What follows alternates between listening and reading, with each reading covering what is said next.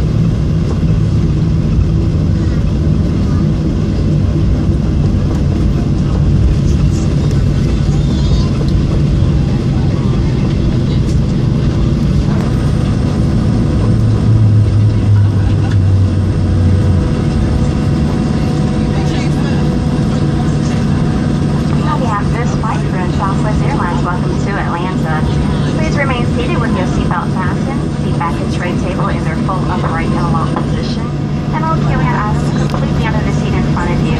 When the captain turns off the passenger seatbelt sign, please be careful when opening overhead bins. Items may have shifted during flight and could fall out. You may now use the cellular function of your small portable electronic devices, but please remain